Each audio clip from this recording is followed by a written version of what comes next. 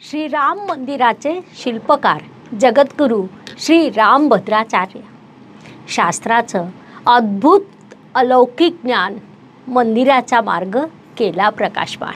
नमस्कार मी astroguru doctor Jyoti Joshi सर्व ज्योतिषप्रेमी व अभ्यासकांचं मनपूर्वक स्वागत करते.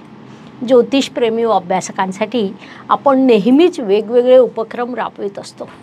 वेगवेगळ्या व्यक्तिमत्वांच्या पत्रिकांचं शास्त्रशुद्ध पद्धतीने विश्लेषण करीत असतो. त्यानुसार आजपासून आपण श्रीराम मंदिराचे शिल्पकार ही एक अत्यंत विशेष मालिका सुरू करीत आहोत. येत्या जानेवारी महिन्यात अयोध्या येथील श्रीराम भक्तांसाठी ते खुले होत आहे. अनेक वर्षाच्या संघर्षानंतर ही ऐतिहासिक घटना घडणार आहे. या मंदिरासाठी अनेकांनी वर्षानुवर्ष मोठा निकराचा लढा दिला आहे. त्यापैकी काही व्यक्तिमत्वाच्या पत्रिकांचं आपण विश्लेषण करणार आहोत.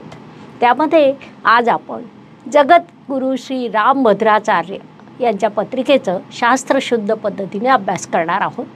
त्यांचं अद्भुत अलौकिक शास्त्रीय ज्ञान त्यांचं कार्य बघता निश्चितच त्यांची पत्रिका ही अत्यंत विशेष आहे.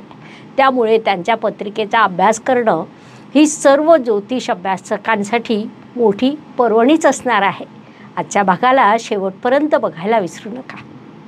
आमचा हा उपक्रम व ही माहिती तुम्हाला कशी वाटली ते कमेंट बॉक्समध्ये अवश्य लिहा. तसंच तिला शेअर देखील अवश्य करा जेणेकरून ही शास्त्रीय माहिती इतरांपर्यंत पोहोचू शकेल.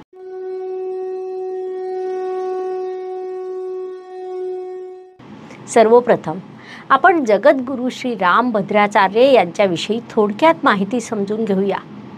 वेगवेगळ्या न्यूज चॅनलवरील आध्यात्मिक चर्चामध्ये सहभागी होणारे ज्येष्ठ व्यक्तिमत्व जे प्रज्ञाचक्षू आहेत.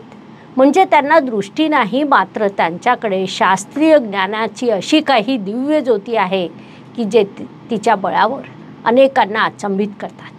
त्यांच्या वाणीतून शास्त्रीय ज्ञानाची गंगा वाहते. ते अलौकिक व्यक्तिमत्व म्हणजे जगद्गुरू श्री रामभद्राचार्यजी होय. अत्यंत प्रख्यात विद्वान शिक्षाविद बहुभाष्यविद रचनाकार प्रवचनकार हिंदू महागुरू म्हणून त्यांचा मोठा नावलौकिक आहे. ते रामानंद संप्रदायामधील वर्तमान चार जगद्गुरू रामानंदचार्यापैकी एक आहेत. या पदावर ते एकोणावीसशे अठ्ठ्याऐंशीपासून विराजमान आहे. हिंदू धर्मातील त्या पदाची गरिमा पाहता त्यांच्या ज्ञानाची त्यांच्या कार्याची त्यांच्या अलौकिक व्यक्तिमत्वाची आपण कल्पना करू शकतो. संत तुलसीदास यांच्या नावाने चित्रकूट येथे स्थापित. तुलसीपीठ या धार्मिक व सामाजिक सेवा संस्थानाचे ते संस्थापक व अध्यक्ष आहेत. तसंच जगद्गुरू रामभद्राचार्य विकलांग विश्वविद्यालयाचे संस्थापक व आजीवन कुलाधिपती देखील आहेत. त्यांनी आतापर्यंत ऐंशीच्या वर पुस्तकं आणि ग्रंथाचं लेखन केलं आहे. महत्त्वाची बाब म्हणजे प्रज्ञाचक्षू असूनही त्यांनी कधी ब्रेल लिपीचा देखील उपयोग केलेला नाही. संस्कृत हिंदी मैथिलीसह तब्बल बावीस भाषा त्यांना अवगत आहेत. रामायण आणि भागवत ते अत्यंत सुप्रसिद्ध कथाकार आहेत. संपूर्ण भारतातील वेगवेगळ्या भाषांमध्ये त्यांच्या कथांचं आयोजन केलं जातं. सन दोन हजार पंधरामध्ये त्यांना भारत सरकारद्वारा पद्मविभूषण पुरस्काराने सन्मानित करण्यात आलेलं आहे. असे जगद्गुरू. श्री रामभद्राचार्य यांचं श्रीराम मंदिरासाठीचं योगदान अत्यंत महत्त्वपूर्ण राहिलं आहे. इतकं की सुप्रीम कोर्टातील सुनावणीमध्ये त्यांनी साक्ष दिलेली असून त्यातून देखील त्यांचं शास्त्रीय ज्ञान अधोरेखित झालं आहे. अशा जगद्गुरूच्या पत्रिकेचा आता आपण अभ्यास करणार आहोत. माणसाची बुद्धी जिथे संपते तिथे अध्यात्म सुरू होतं. जगद्गुरू श्री रामभद्राचार्य यांची कुंडली आपण जेव्हा पाहतो तेव्हा विस्मयचकित झाल्याशिवाय राहत नाही. खरं सांगायचं तर त्यांचं आयुष्य हेच मोठं आश्चर्यकारक आहे. एका प्रज्ञाचक्षू व्यक्तिमत्वाला तब्बल बावीस भाषांचं ज्ञान असणं ऐंशी ग्रंथाचं लेखन करणं त्याहून महत्त्वाची बाब म्हणजे आपल्या सर्व आध्यात्मिक ग्रंथाचा त्यांनी केलेला सखोल अभ्यास. श्रीराम मंदिरासाठी त्यांनी सुप्रीम कोर्टात दिलेली साक्ष हे सर्व अचंबित करणारं आश्चर्यचकित करणारं आहे. हे सर्व होतं त्यामागे निश्चितच पत्रिकेत काहीतरी कारण असायला हवं. म्हणून सगळ्यांचं भविष्य सांगणाऱ्या श्री राम भद्राचार्य यांची पत्रिका पाहण्याची उत्सुकता मला लागली आणि मी सहजच पत्रिका उघडली. पत्रिका पाहून अनेक बाबींचं आश्चर्य वाटलं. त्यात क्रमाने मी आता पत्रिकेचं विश्लेषण करीत जाणार आहे. आज ते ज्या स्थानावर आहे ते स्थान पाहता. खरं तर सर्व पत्रिकेच्या ग्रहांच्या पलीकडे जाऊन स्वतःचं भविष्य स्वतः घडवण्यासाठी समर्थ झालेले आहेत. अर्थातच त्यांनी स्वती स्वतःची पत्रिका बघितलेली असेल किंवा नसेलही परंतु त्यांना एक काहीतरी निश्चितच ज्ञान आहे आणि म्हणून ते माझ्या कितीतरी पटीने पुढे गेलेले आहेत. तरीही मी माझं काम म्हणून हा प्रयत्न करीत आहे. कारण त्यांच्या पत्रिकेतील काही बाबी मला अशा जाणवल्या की त्या स्वस्त बसू देत नव्हत्या. त्यामुळे मी या पत्रिकेचं विश्लेषण करण्याचं धाडस करीत आहे. वृश्चिक राशीची ही पत्रिका आहे. सगळ्यात महत्त्वाची बाब म्हणजे त्यांचा जन्म चौदा जानेवारी एकोणावीसशे पन्नास रोजी उत्तर प्रदेश राज्यातील जौनपूर येथे झाला. जन्मत त्यांना शनीची महादशा होती.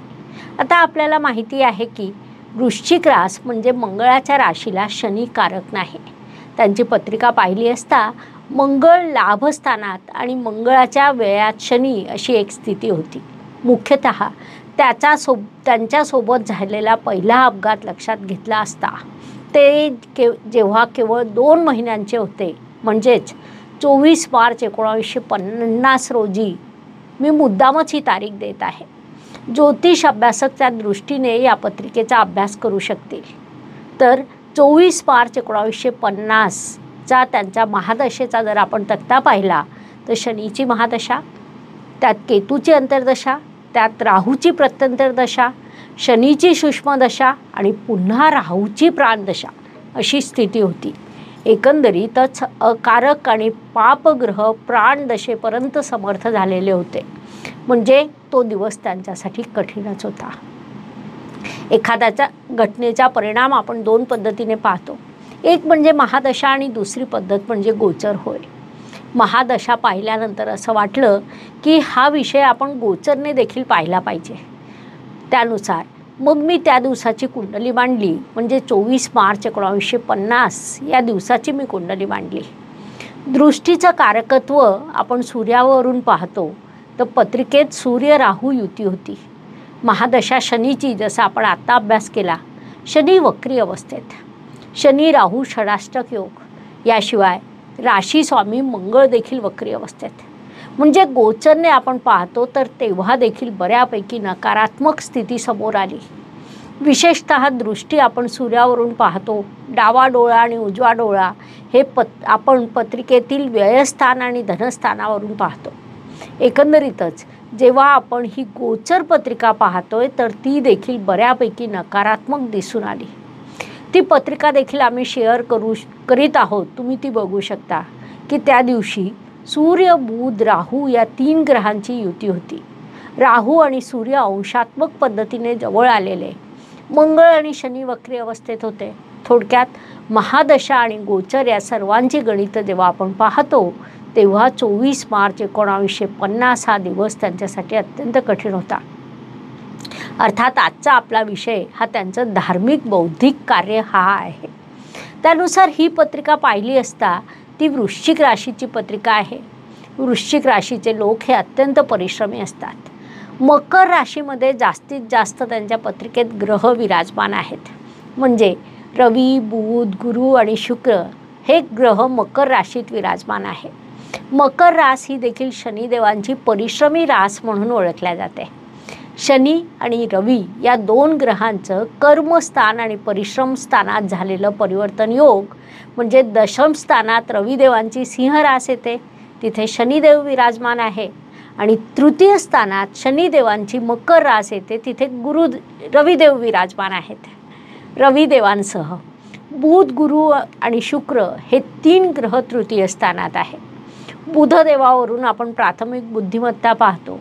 गुरुदेवांवरून आपण सखोल ज्ञान पाहतो आणि शुक्रदेव देखील राक्षस गुरु शुक्राचार्य म्हणजे ज्ञानाचं कारकत्व या तीनही ग्रहांकडे आहे.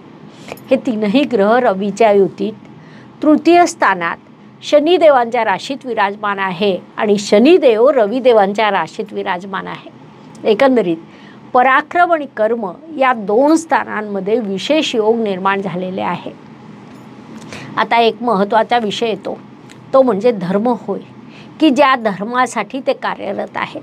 त्या दृष्टीने पाहिले असता पत्रिकेतील धर्मस्थान म्हणजे भाग्यस्थान होय.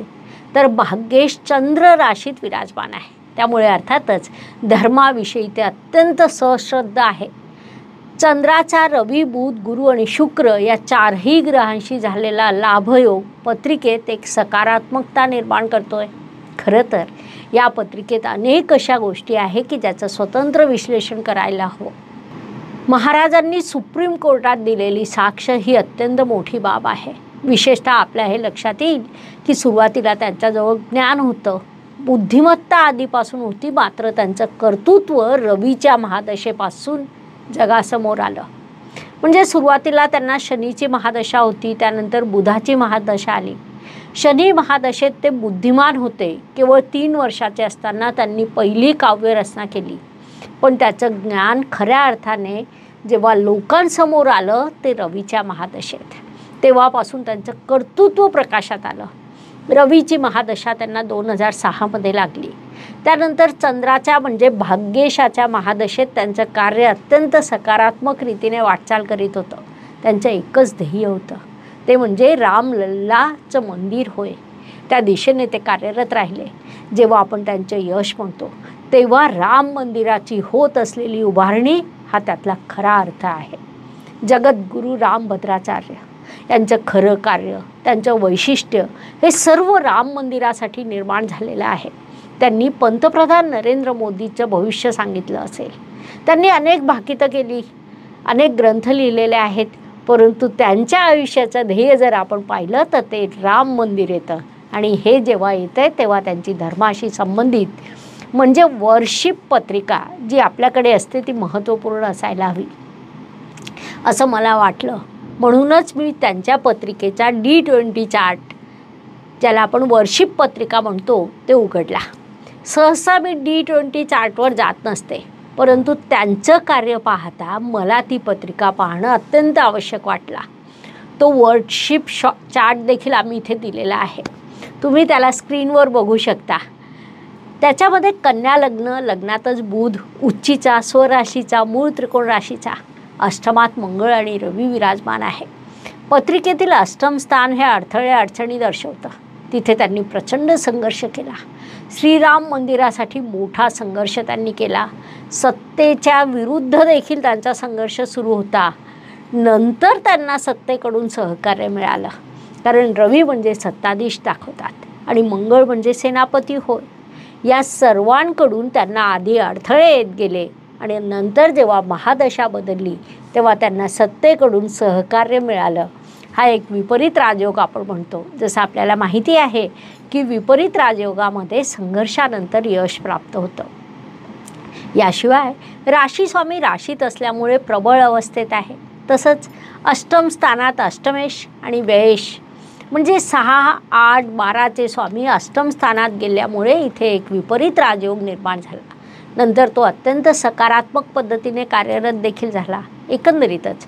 रामभद्राचार्य महाराज यांची पत्रिका ज्योतिष अभ्यासकांसाठी अत्यंत उपयुक्त म्हणून मी ती घेतली. खरं सांगायचं तर जगद्गुरूंची पत्रिका आपण बघू नये मात्र त्यांचं कार्य प्रचंड आहे. आता जेव्हा जानेवारी महिन्यात अयोध्या येथील राम मंदिर सर्वांसाठी खुलं होत आहे त्या काळात त्यांच्या पत्रिकेत जानेवारी तर जून हा कालखंड संकटाची दिशा देखील दाखवत आहे. त्यानंतर मे दोन हजार पंचवीस ते जुलै दोन हजार सव्वीस हा काळ त्यांच्यासाठी अत्यंत कठीण आहे. या काळात त्यांना मोठ्या संघर्षाचा सामना करावा लागू शकतो. अर्थात ते जगद्गुरू आहेत. त्यांचा स्वतःचा देखील अभ्यास आहे. त्यांना हे सर्व माहिती असेल त्यामुळे त्यांना कोणताही सल्ला देण्याचा किंवा यापेक्षा मोठं काही भाकीत करण्याचा अट्टहास मी करणार नाही. मोठ्या संघर्षानंतर आता त्यांचं स्वप्न पूर्ण होत आहे. हे अत्यंत सकारात्मक व त्यांच्या आयुष्यातील खूप मोठी बाब म्हणता येईल. त्याबद्दल त्यांचं खूप खूप अभिनंदन. अशा प्रकारे श्री राम मंदिराचे शिल्पकार लाम राम लल्ला मंदिराचे शिल्पकार म्हणून जगद्गुरू श्री रामभद्राचार्य यांच्याविषयी एवढी माहिती पुरेशी आहे. आता आपण थांबूया. या मालिकेच्या पुढील भागात आपण अजून एका महान व्यक्तिमत्वाच्या पत्रिकेचा अभ्यास करणार आहोत. आमचा हा उपक्रम ही माहिती तुम्हाला कशी वाटली? आणि या मालिकेत कुणाच्या पत्रिका घ्याव्यात असं तुम्हाला वाटतं? त्यांची नावं देखील तुम्ही आम्हाला शेअर करू शकता की जेणेकरून आपण एकेका पत्रिकेचं विश्लेषण करू आणि राम म लल्ला मंदिर जे स्वयंपूर जे संपूर्णत्वाकडे पोहोचत आहे. त्या मंदिराच्या दर्शनाचा लाभ घेऊ. धन्यवाद. शुभम भवतु. जय ज्योतिष. नमस्कार. शास्त्राचा अभ्यास करण्यासाठी माझी मराठीतून अकरा हिंदीतून दोन अशी पुस्तकं प्रकाशित झाली आहे विशेष बाब म्हणजे मी स्वतः संशोधित केलेली ज्योती जोशी पद्धती अर्थात जे जे पद्धती या विषयावर स्वतंत्र ग्रंथ उपलब्ध आहे. त्याचा देखील लाभ घ्यावा. यूट्यूबची कार्यप्रणाली ही मुख्यतः लाईक शेअर अँड सबस्क्राईबवर चालते. Please like share and subscribe the channel. धन्यवाद. शुभम भवतु. जय ज्योतिष.